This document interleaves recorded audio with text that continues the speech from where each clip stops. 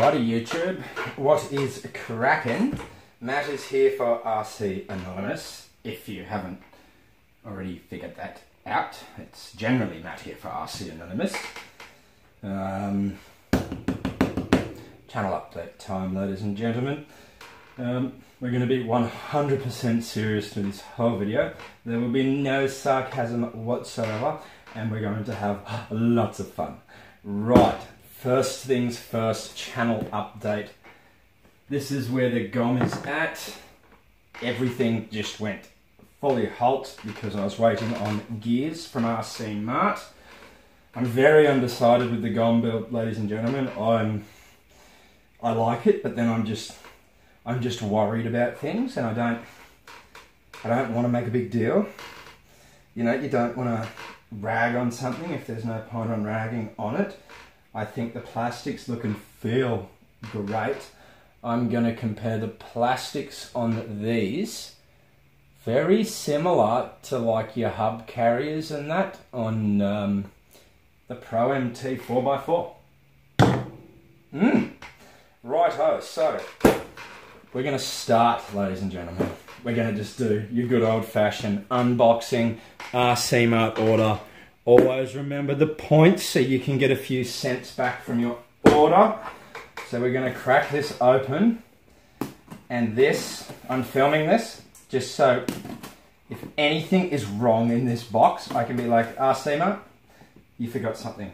Bam.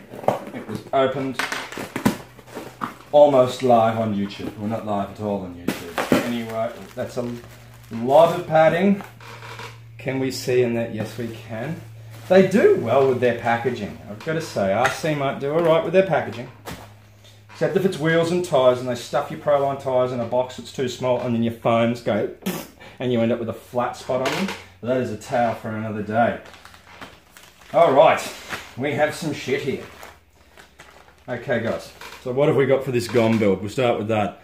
We've got the titanium grey skid plate to match the titanium grey pumpkin protection. Lovely. Alum aluminum, aluminium shift fork. Okay, hardened steel gear. That's a 16 tooth. Excuse my long nails, but I actually need them for RC, so yeah. There's another gear. These are all Junfac gears. yes, that's a questionable name, but that's what that is. Hardened steel. I'm gonna have to count. There should be seven. One, two. There's another one. Yes, you can all see them. We, we covered these in another video. If you're not sure, just go back and find the other video. I don't sort them very well, so it may take you some time. And there's the last one. I really hope I got all this in. So we've got all the gears. We've got the skid plate. We've got the uh, alloy shift fork. We've got the alloy titanium grey rear shock brace. And for a touch of class, the alloy slipper plate. So, ladies and gentlemen, it's like a billion degrees at the moment in Queensland, Australia, because it's like the storm season, so it just goes stupid hot, stupid cold. I'm in my garage and I am sweating like a mofo. Like, I cannot stress how much this sucks. I'm probably going to wait for the kids to go to sleep tonight and I'm going to go steal the kitchen table without my wife knowing because I'm not allowed to use the kitchen table anymore because I don't pack up.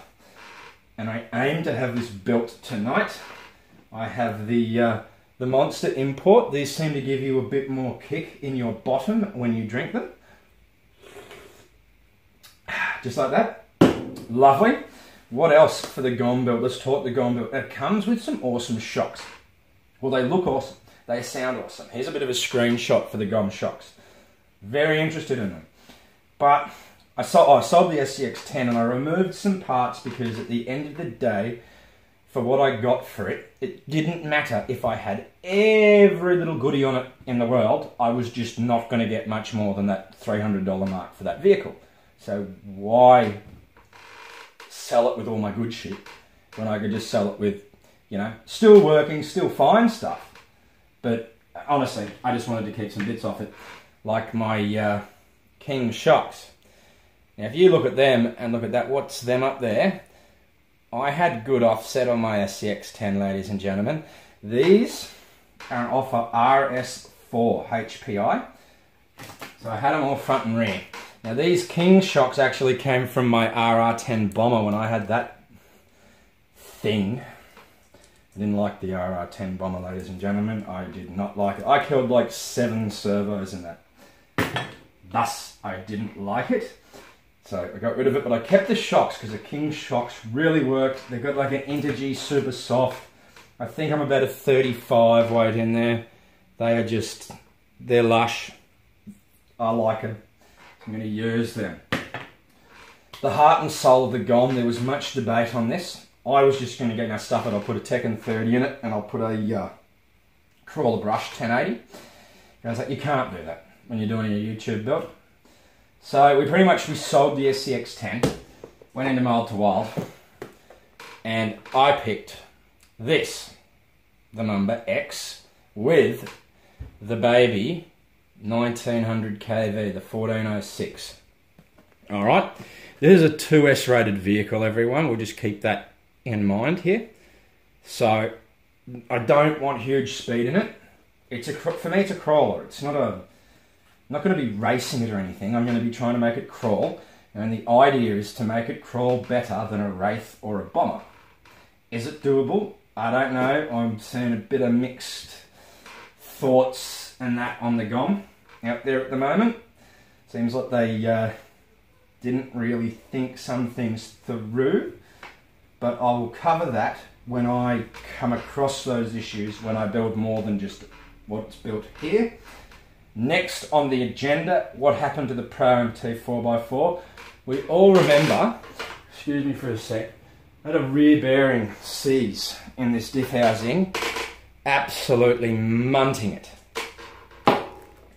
A-Main came to the rescue after uh, three weeks or something, and I have the diff housing everyone, and it came with heaps of seals, and I'm yet to even figure out what those little tiny ones are in there for. I guess we'll find out. I can't remember seeing them when I redid the diffs and I oiled them. But that was a long time ago in a galaxy far, far away. What else has been cracking? Well, we've been using the uh, Yamugan Seiki shims that are falling out everywhere. Yamugan Seiki shims. Thank you very much, Rich, for this, Mr. Duper Bash. These guys are in my Outcast diffs and uh, external shims by Kyosho. Now I figured out the what the cracking noise was in that outcast and it was I had too much side to side movement in the rear diff housing and what was happening is this guy was probably moving away from the dirty finger pinion as displayed here and it was probably just separating and going right four of those uh, 0.15 Kyosho shims three crown side and one the other side fixed it for me. Do not just assume that that's the magic number because my diff cases were over a year old. Everything wears different. You might need two. You know, you might need 17. I don't know. You've just trial and error. Five was too many. Four worked perfectly. And we ended it there. Right. So I am I am like I don't know if you can you can see that. I am sweat. That just came off my forehead. I am sweating profusely because Queensland sucks. The humidity sucks. It's nothing like the ads. I will warn you on that. If you want to have a lovely holiday to Queensland, you're probably going to rock up and it's going to piss down rain, flood, or there's going to be a bad storm, or something's just going to be wrong. right. It's probably the strangest channel update I've ever done, or you've ever seen. But uh, yeah, I hope everyone's doing well. I will, while I've got you all here, if you've made it this far, I would like to do, I've seen other people do this lately, and I think it's an absolutely great idea. So I'd like to give a few shout outs. These are um, awesome people and channels. And uh, yes, I've wrote a little list. This is in no specific order. This is no favoritism. And if I've forgot anyone, I am so sorry. I um, just let me know if I've forgot you, and I will make amends in my next video, but I think I've got everyone. Or the sort of the main people that regularly comment to the channel and input. So first, we've got Rich Duper Bash, we've got RC Bashing the Creighton, we have RC Fun, we have Kenny mile per hour Malenko, we have Now, I think it's Goliathan, and my missus reckons it's Galthane. Okay, sorry, brother. I'm all right. Galthane Goliathan. Yep, you're there. We've got George or Speed Freak, which is AKA Pav Racing. If you need cap packs, people. Okay, we've got RC Ritter, oh, Ryder maybe. Um, I don't know. We've got Eric the Red RC. We've got Trent Marlowe, Pain in the RC, 12R1. We've got Camo RC, Stew Dog Stew. We've got Kizzle Garrett, the RC Freak. Love your attitude, brother. Frankie Mal, Tom Lee, Baker Boys RC. We also have huge Micah 79. And um, I'd also like to take a minute to thank once again Mild to Wild RC Arana Hills and Marcor RC Designs for the fabulous pieces I have on my Typhon. And I'm also, I guess while I'm here, I'll also give a shout out to uh, A Voltage Hobbies, Castle, Hobbywing, um, and Proline too. I love your tyres, Proline. I love them. I don't love the bearings in the Pro MT 4x4, but I certainly love your tyres. Um, righto, everyone. That's it. Channel update for the 13th of the 2nd of the 2018. Um, Matt out for RC Anonymous.